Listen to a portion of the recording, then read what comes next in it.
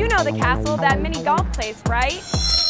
Wow, things have changed. Let's get this party started! Now open year round with a 50,000 square foot indoor roller skating center.